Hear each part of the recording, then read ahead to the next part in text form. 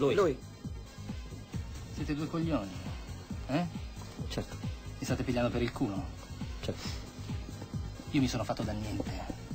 Io vengo da una famiglia poverissima.